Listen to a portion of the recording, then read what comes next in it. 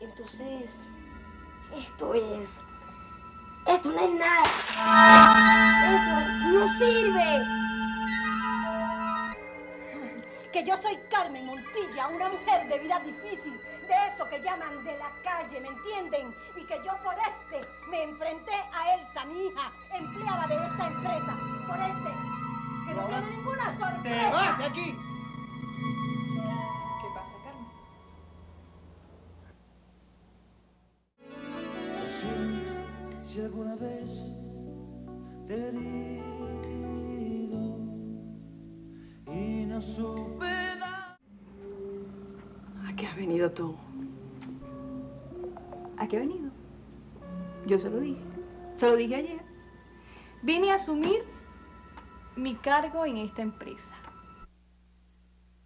Pero el hecho de que ella no quiera tener ese hijo, esa es su venganza. Esa es su verdadera venganza. ¿De acuerdo? Señora Suárez, ¿está usted segura? Quiero salir de aquí lo más pronto posible, doctora. Quiero salir de aquí lo más pronto posible. Mañana mismo.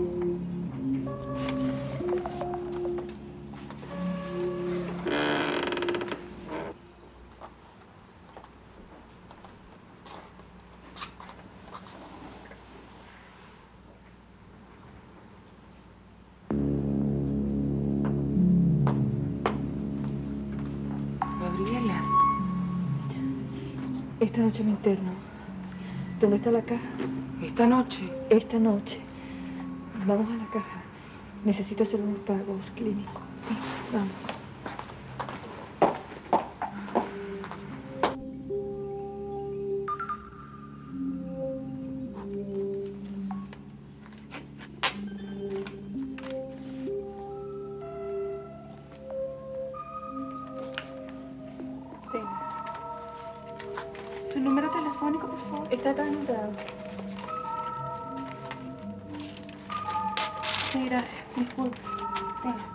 Gracias. Gabriela, ¿tú te sientes bien? Claro. Por supuesto que estoy bien. Pero es que yo anoche te. Anoche cometí una tontería. Y lo que te dije de ese hombre no es verdad. Es mentira. Fue una debilidad. Gabriela, anoche me lo dijiste. Y era verdad. Yo creo que te estás jugando demasiado. Anoche saliste de la casa. ¿Para dónde fuiste? A cometer una estupidez. A terminar de aprender una lección. Ay, Gabriela, ¿qué te está pasando? No me está pasando nada. Estoy bien. Estoy tranquila. Estoy serena. Si acaso un poco de miedo. Pero de aquí a una semana se me habrá pasado todo. Gabriela, ¿quieres que te diga una cosa? No me gusta oírte hablar así. Pareces otra persona. Vendré esta noche. Eso es todo.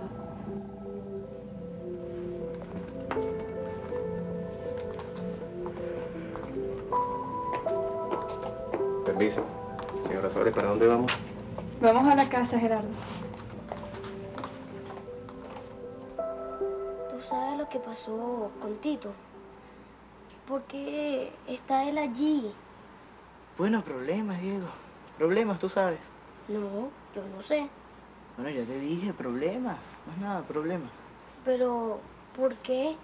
¿Se robó una cosa? No. Y entonces, Bueno, fue algo que pasó hace mucho tiempo. como más, Diego. dímelo.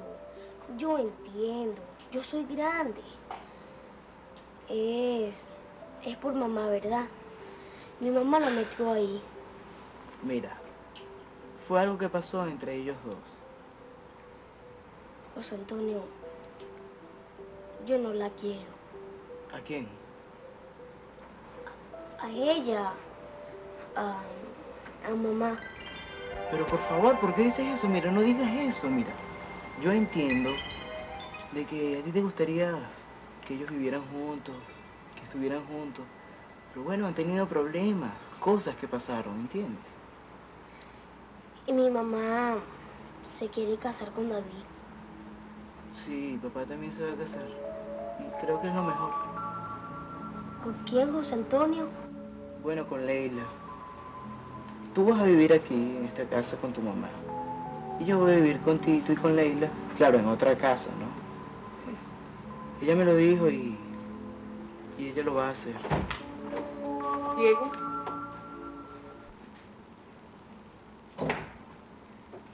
Todo está en orden, Julia. Ay, no sé, tengo miedo. Es que es como ver a alguien que está cometiendo un disparate y no puedes impedirlo. Evidentemente está convencida. Y ella dice tener sus razones. No sé. Que no es ella. Yo acabo de verla y te juro que no la conocí. Esa no es mi hermana. Que no resisto verla ahí, ¿entiende? No puedo. Fue una decisión mía. Pero bueno, ¿y hasta cuándo? Eso no es una decisión, eso es una locura. Y es que tú piensas comprometer el resto de tu vida en esto. El resto de mi vida no son las empresas Clemente, Leila. Es salir de aquí. Es comenzar de nuevo. Eso es el resto de mi vida. Y. Yo...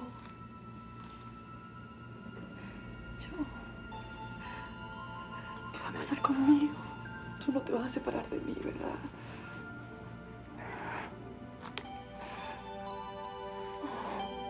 Es que tengo mucho miedo.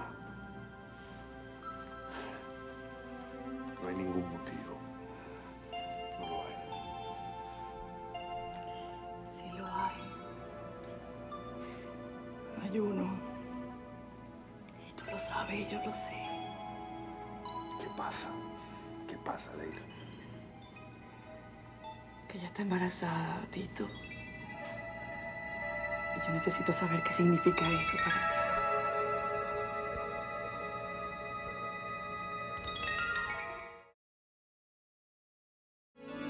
Lo siento si alguna vez Braulio, cuidado, Braulio. Ay, Dios mío, Braulio. Baje. Ay, Dios mío, señor. ¿Y qué cree usted? ¿Ah? ¿Qué cree usted? Que yo me iba a perder de esto. Pero. Braulio, favor, usted no ve que puedo pasar vergüenza. Puede estar Julita, puede estar Dieguito y dígame, ven así en brazos. Que, que, que ridículo. Tranquila. Mire, ¿y usted no va a ver la hornilla? ¿Cuál hornilla? Bueno, ¿cuál hornilla? Usted no interrumpió nuestra honeymoon, ¿Nuestro qué? nuestra luna de miel, para ver si había una hornilla prendida allí. ¿Verdad, no? Mm.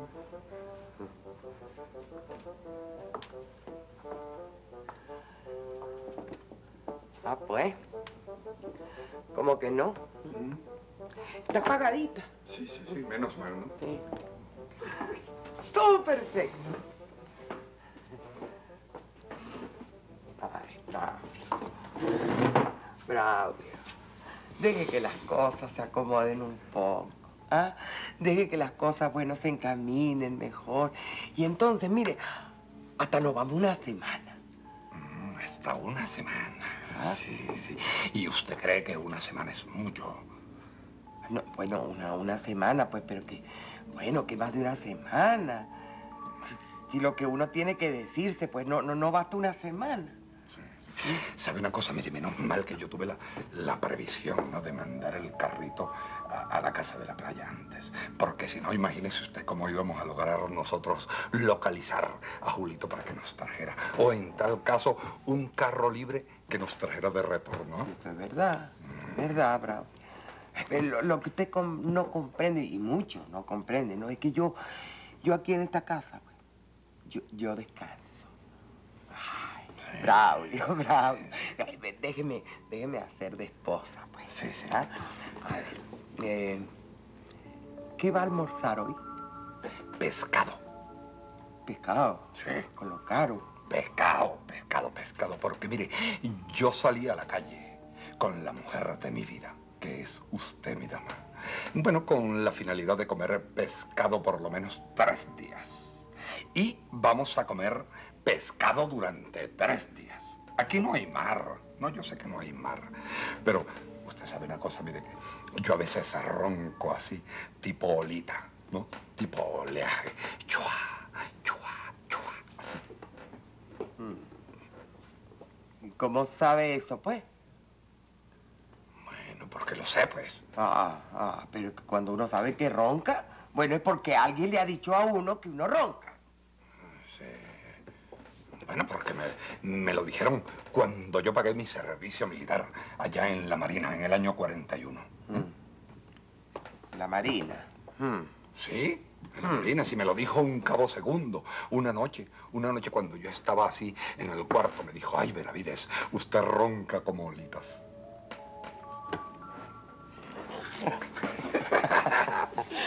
¡Ay, Braulio! Siempre bromita. Ah, ahora hablando en serio, ¿ah? ¿usted va a traer su ropa hoy? Claro, claro, sí, dama. Sí, porque es que yo tengo que hacer un espacio en el escaparate. No, pero cuánto espacio si yo no tengo casi nada. Cuatro trapos allí. ¿Y? Mire, ah, Mamá, estoy en la casa de Diego. Llámame tan pronto llegues. Todo está bien. Te adoro. Gabriela. Gabriela no está. Y se llevó con ella a Diego. José Antonio, ¿podemos hablar un momento? Sí, claro. Vengo enseguida, Diego. Sí. Vengamos.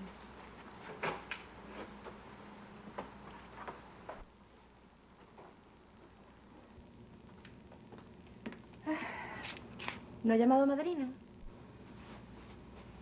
No. Bueno, ¿y eso? ¿No íbamos a salir? No, no vamos a salir, Eleonora. Estoy esperando a alguien. José Luis, ¿qué te pasa? Nada.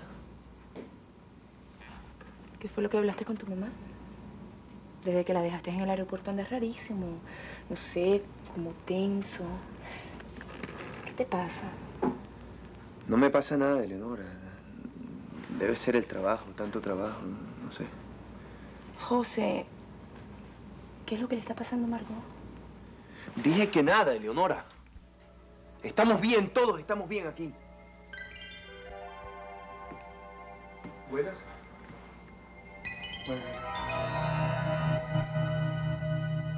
Antes de que usted me hable, yo quiero decirle algo. Te escucho. Me... Me voy esta noche. José Antonio. No, no es que yo piense que me esté votando ni que me vaya a votar. José Antonio, esta casa ahora es mía. Pero quiero que entiendas, quiero que sepas que esta casa tú la puedes compartir con Diego, que es tuya y de Diego. Yo no me voy a quedar con ella. Bueno, eso no lo sé, ni importa ahora. Me voy, sí, me voy con Leila. Así lo decidimos y Tito está de acuerdo. ¿Y tú quieres? Sí, yo quiero. Como usted sabe, yo nunca tuve padres. Mis padres siempre fueron ellos, Tito y Leila. Ellos se separaron y yo me quedé con Tito. Ahora a él se lo debo todo, todo lo que soy. Claro, las cosas han cambiado. Han cambiado. Sí, se han vuelto a encontrar, se quieren, se necesitan. Y en cuanto mi papá salga de este problema, se van a casar. Y eso para mí, eso para mí es muy grande, señora Suárez. Muy grande. Yo me siento sumamente feliz por eso. ¿Se van a casar? Sí, se van a casar y espero que usted no tenga nada que decir.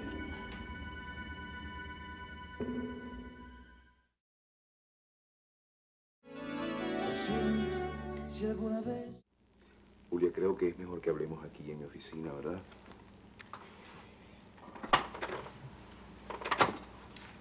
Quiero decirte, Julia, que yo... Yo me siento muy inseguro en cuanto a tu hermana. David, Anoche. Anoche no, Julia. Anoche yo sentí que ella empezaba a disponer de mi vida. David, ella hizo un anuncio, ella habló por ti, por ella. No, es que no se trata de que ella haya hablado, Julia, no es eso. Había una orden, había una decisión, sabiendo que yo he estado ocho años sin agregar nada. Hace ocho años atrás, Julia, yo fui a la jefatura y me encontré con tu hermana que estaba defendiendo a tu mamá. Una muchacha sólida, íntegra, bella. Y luego fui a tu casa a buscarla porque tenía que regresar a la jefatura. Y en la puerta de tu casa, Julia, ahí sin darme cuenta me enamoré de tu hermana. Sin garantía, sin vencimiento. Y pensar que tenía que pasar ocho años para que llegara noche. David, mi hermana no ha tenido una vida que se pueda decir. Mi amor, yo eso lo sé. Como también sé que Tito Clemente es mi hermano y que somos hijos de la misma madre. Como también sé que tu hermana estuvo en una cárcel pagando una condena por un delito que nunca cometió. Ahí estaba en un ambiente inhóspito, un ser destruido. Y después la otra cara, la mujer increíble, la mujer imposible, Emperatriz Ferrer. Y ahí seguía yo, sin darme a lo mejor cuenta de lo que estaba pasando a mi alrededor, pero yo seguía ahí amándola. Julia, en una oportunidad yo le dije a mi madre que mi vida era una cuestión de cantidad. Pasaban por mi vida infinidad de mujeres sin yo poder corresponderle por una sola razón. Y esa razón, mi vida, es tu hermana, Julia. David, tú mismo lo sabes. Tú te metiste en esto. Mi hermana quiere a un solo hombre. No, no, no, Julia, mira, yo no tengo puntos que aclarar. Yo no tengo razones, ya yo di todas las razones que tenía que dar, ya las entregué. Hay un juicio y ahí está el resultado. Mi hermano Tito Clemente en una cárcel preso. Ahí está. Y ahí voy yo. Y es como oírme a mí mismo. Es decirle, mira, yo, yo voy a asumir la responsabilidad que te corresponde a ti. Y es asumir un hijo que no es mío. Y todo lo eso lo hago porque, Julia, por amor. Ahora yo te pregunto, toda esta tristeza, todo este sufrimiento, toda esta incertidumbre, ¿es realmente amor eso? ¿Se puede calificar el amor de esta manera, Julia? Mira, yo, yo me siento muy mal. Yo, yo me siento mal, Julia. David, yo no soy confesora. Yo te puedo dar una sola palabra.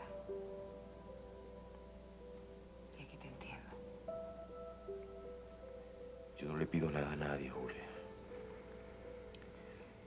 Yo lo único que quiero en la vida, mi objetivo, mi objetivo principal en la vida es, es poder atravesar el umbral de esa puerta, pero con ella, con tu hermana. Eso es lo que yo más anhelo en mi vida. Poder atravesar esa puerta, pero no solo. No solo, Julia. Quiero que te quede bien claro, Leila. Eso se terminó. Pero ella... Ella tomó su decisión y punto. ¿Cuál? Ay, por Dios, Leila, no quiero hablar más de eso. Ya está, por favor. No tenerlo, ¿verdad? Ahora me explico.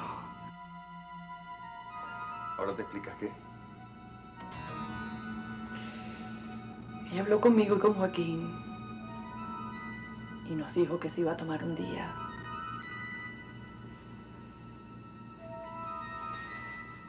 Bueno. Tal vez sea lo mejor que puede hacer, ¿verdad? ¿Qué sentido tendría un hijo entre tú y... ¿Qué sentido? ¿Qué sentido, verdad? Ninguno. Ninguno porque yo quiero tener un hijo contigo. Yo sí te amo. Será lo más bello, será. será lo que nos va a mantener unidos para siempre. Y lo que no fue antes, ahora es el momento. Y es lo que yo más quiero, Tito. Un hijo tuyo. Es lo que yo más quiero. Por supuesto que antes de irme, se lo avisaré. José Antonio, ¿Sí? ¿cómo sabes tú que ellos se van a casar? Bueno, eso es un hecho. En cuanto mi papá salga de ahí, ellos se van a casar. Sí, claro. Sí, yo creo que es lo mejor. Es lo mejor para todos.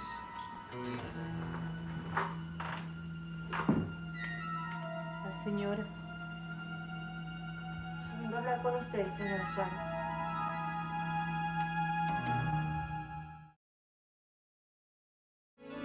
Lo siento si alguna vez José Antonio, ¿tú me puedes dejar solo un momento con ella?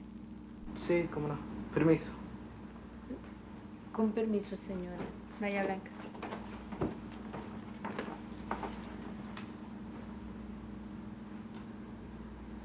Entonces tú estás aquí, en la casa de mi hijo.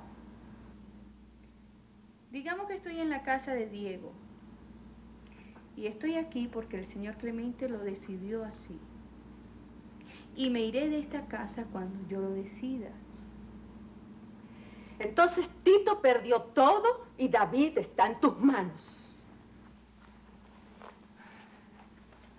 ¿Usted me quiere escuchar? A eso vine. Vamos a estar clara en una cosa, señora, vamos a estar clara. Usted es la madre de Tito. Usted es la madre de David. Y yo me metí en su vida sin querer, porque yo tenía que hacer algo, porque era mi deber. Yo ahora estoy libre. Y destruiste a Tito. Su hijo se presentó en los tribunales y declaró. Yo quiero que usted entienda eso. Él declaró. Él dijo lo que tenía que decir y eso está allí. Yo no tengo por qué darle explicación a nadie. Y estoy aquí porque esta es mi casa. Y si usted va a venir aquí a hablar conmigo, entonces me va a respetar. Yo he venido, entiéndeme bien, yo he venido a suplicarte que no enfrentes más a mis dos hijos, porque eso es como demasiado para mí. He venido a, a rogarte que tengas piedad de mí. Señora, yo quiero que usted me entienda. Yo quiero que usted me entienda. Yo no soy la mujer que usted piensa que soy. Yo me voy a casar con su hijo, con David. Y yo necesito su cariño. Yo necesito su bendición. Su cariño. ¡Diego! Diego, mi amor. Ay, mi precioso. Diego. Diego, mi amor, yo sé que tú conoces a la señora Urbina. Yo sé que tienes mucho que agradecerle. Pero yo te la quiero presentar. Yo quiero que sepas quién es.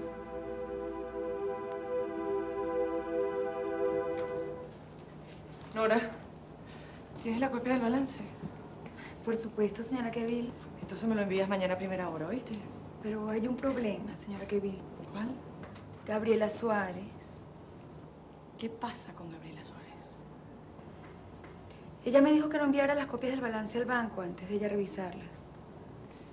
Mira, Nora. Mire, señora Kevil, yo tengo años trabajando en esta empresa como secretaria del señor Clemente. Y bueno, a usted le consta, ¿no? Pero resulta que ahora quien está en esa oficina es la señora Suárez. Así que, imagínese. ¿Qué puedo hacer yo? Eleonora, ¿quieres dejarnos solos, por favor? ¿Y ese misterio? eh? Con Antonio. ¿Quieres hacerlo, por favor? Pero bueno, José Luis, ¿qué es lo que pasa? José Luis. Antonio y yo tenemos un asunto pendiente. Está bien. Perdón, no, no creí. Gracias, Eleonora.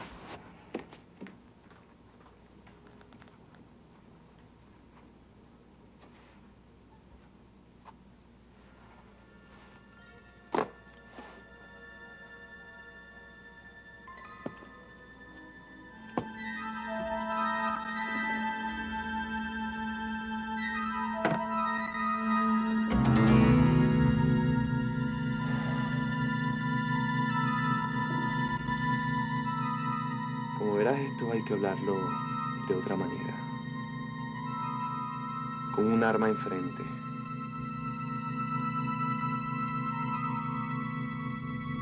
La pregunta es muy sencilla, Antonio.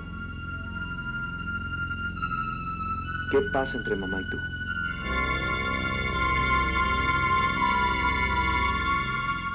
La sentencia será dictada de aquí a tres meses, señor Clemente.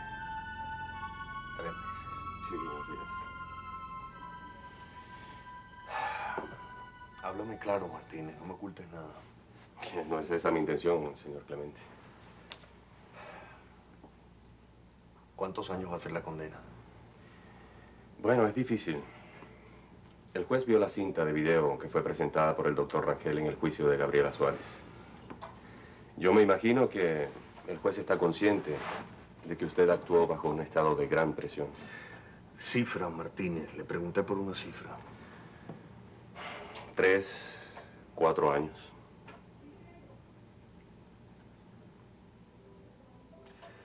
Entonces hice bien lo que tenía que hacer, Martínez.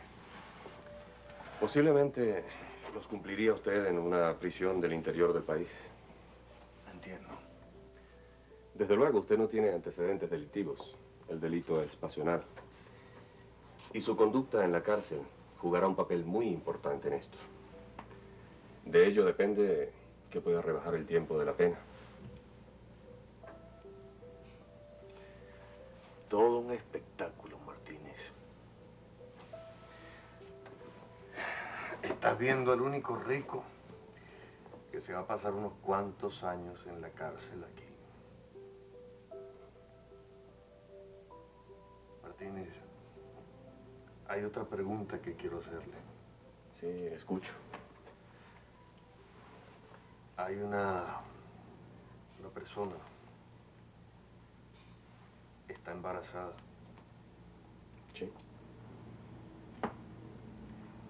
De mí, de mí, Martín. Entiendo. Y esa persona no quiere tener ese hijo. No lo quiere tener de una manera legal. Alegando que sería un trastorno para su mente, para, para su vida. Entiendo, sí. La pregunta es concreta, Martínez. Yo no lo puedo impedir. Me temo, me temo que no, señor Clemente. Usted está preso. Y muy pocas cosas son las que un preso puede impedir.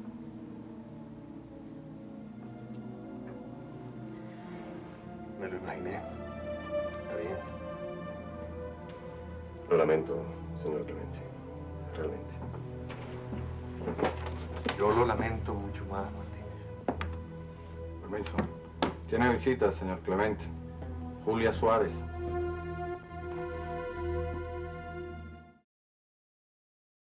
Lo siento si alguna vez Ella es Olvido Rangel. Ella es la madre de tu papá, de Tito.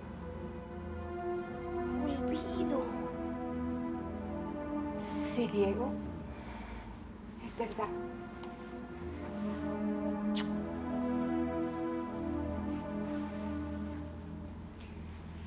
Me imagino que tienes mucho que hablar con, con tu abuela. Yo me tengo que ir porque tengo que hacer un- una diligencia. ¿A dónde vas? Tengo un compromiso, mi amor, pero yo desearía que te quedaras con, con tu abuela, que te quedaras a cenar esta noche con ella. Y si usted desea quedarse, señor Olvido, esta es la casa de Diego. Y la casa de su nieto es suya también.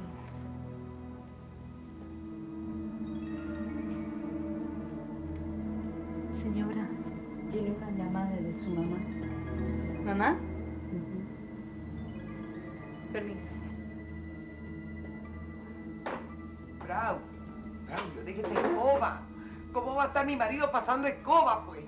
Pasándola, pues, no lo está viendo. Además, mejor que usted, ya usted va a ver cómo va a quedar esto. Ah. Gabriela. ¿Pero cuándo llegaste?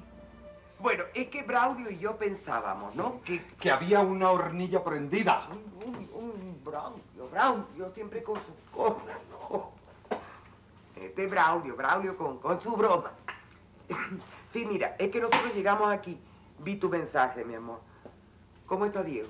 Bien, bien. Y en este momento está con olvido. ¿Con olvido? Sí. Mira, mamá, quiero que vengas. Que venga, yo te voy a enviar al chofer. ¿Qué chofer? ¿Cuál chofer? Gabriela, ¿qué está pasando? El chofer, el chofer de siempre. Yo ahora tengo que salir, pero regreso en la noche. Gabriela, ¿qué vas a hacer? Tú lo sabes, mamá. Ay, Gabriela. Todo está bien. Todo está perfecto, todo está bien. Yo creo que tú me cuides a Diego. Mira, y le das un beso a Benavides. Yo te quiero, mamá. Te adoro. Sí, Dios te bendiga.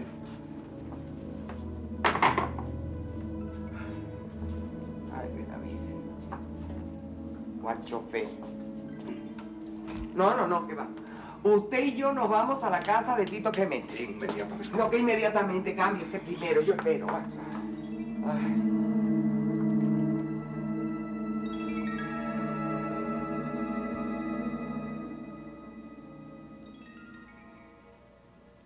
¿Vas a usar eso?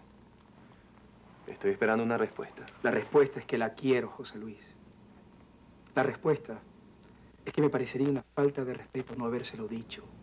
La respuesta es que no me avergüenzo ni me arrepiento. La respuesta es que me quiero casar con ella. ¿Tú sabes quién fue Asdrúbal Ustaris? Tu padre y mi amigo. Tal vez yo no coincidía en muchas cosas con él, pero le guardo mucho respeto a su persona. ¿Tú ves esa arma que está ahí? Era de él. José Luis. Yo la voy a usar. Mamá ahora está de viaje y no va a regresar hasta dentro de unos meses, cuando nazca mi hijo. Antonio Benavides. Yo espero que esta sea la última vez que yo te vea. La próxima. Esa arma va a tener un sentido. José Luis, yo no he ofendido a tu madre. Yo le he dicho una verdad. Te largas, Antonio, no quiero verte más. Te largas. Tú estás ciego, ¿viste? Tú estás ciego porque estás vuelto igual que tu padre. No quieres oír. Vives de una pura apariencia. Y no oyes. Y no quiero quiero oír. No quiero oír. Te vas. Tienes una advertencia. Tienes una advertencia. Blanca. Señora.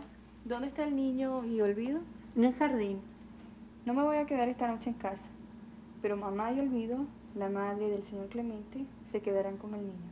Sí, señora. Tal vez la señora Queville venga a buscar esta noche a José Antonio.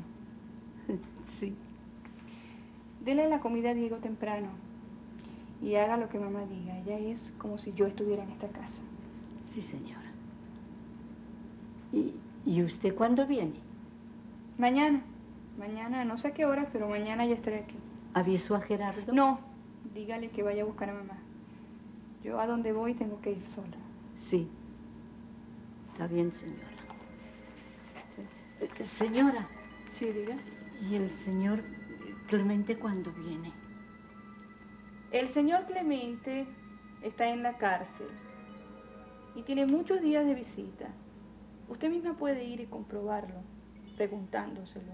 O si no, también se lo puede preguntar a la futura esposa del señor Clemente, a la señora Kevin, Leila Kevin. ¡Ah, María pues. Purísima!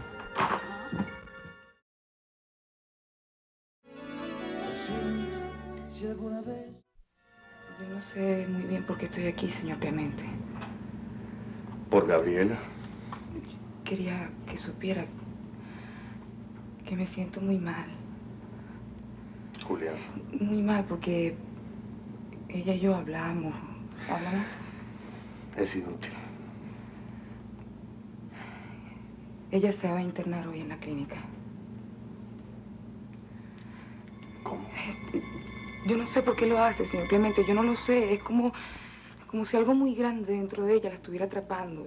Yo no lo sé, pero nos conocemos desde niña. Ella lo ama, señor Clemente. Ella lo ama a usted. ¿Qué es una burla? Me estás diciendo que se va a internar en una clínica esta noche. Ella lo ama, señor Clemente. Eso es lo único que yo sé, lo único. No me pregunte por qué, no lo sé. Pero es así.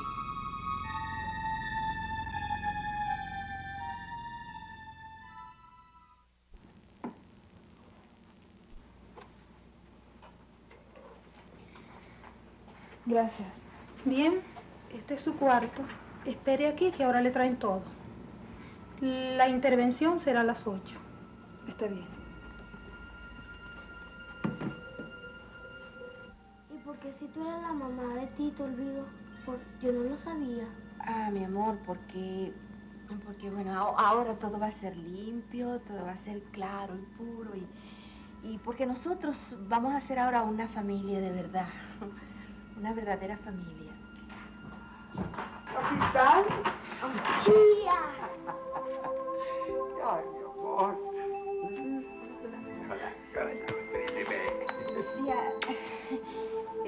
Sabe, él lo sabe. Ayúdame, Lucía, porque no sé. Qué bien, Yo quiero que esté conmigo. Benavides y Chía. Benavides. Ay, miren eso.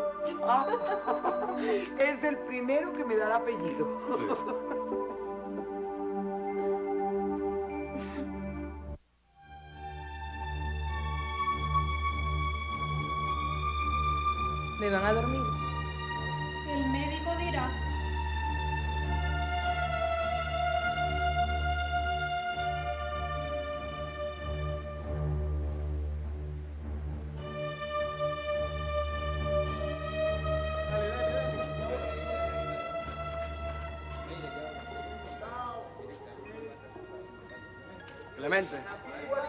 la dirección.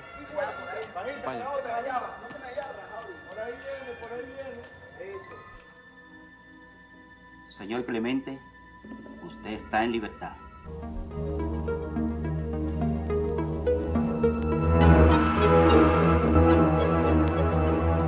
¿Puedo irme ahora?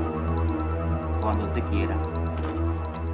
Sabe, señor Clemente, esta decisión se tomó por sus antecedentes y también por su buen comportamiento.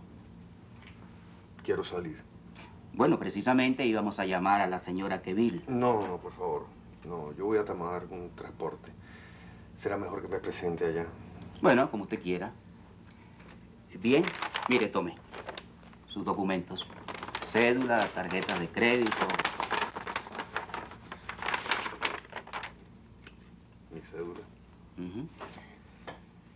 Las tarjetas no creo que tengan ninguna validez. Y creo que no las puedo respaldar en este momento. ¿Y esto qué es? Bueno, su libreta de ahorros. Es el producto de todo lo que usted ganó por su trabajo en el campo.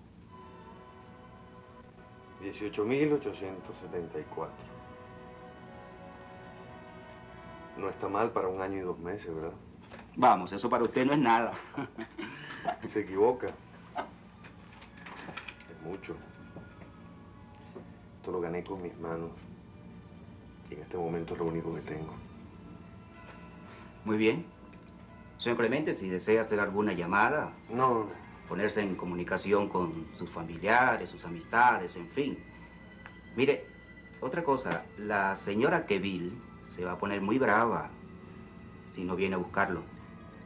Usted sabe que ella siempre hacía largos viajes para, para visitarlo a usted. Muchas gracias, pero como le dije, me voy en un transporte. es mejor que me presente allá por mi cuenta. Va a ser una sorpresa para varias personas.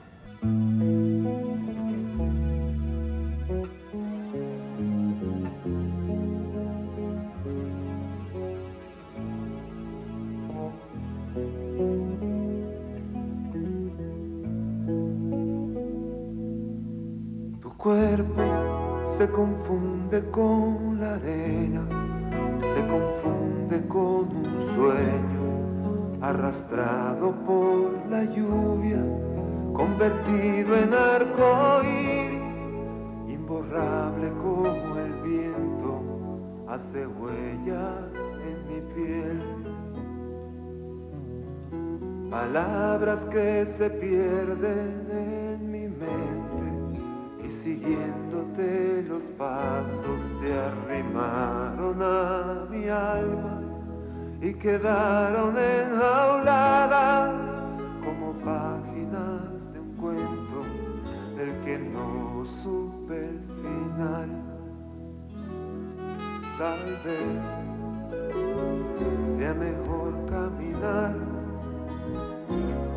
y dejar que la noche esconda lágrimas en las sombras de otra madrugada que llega a su final.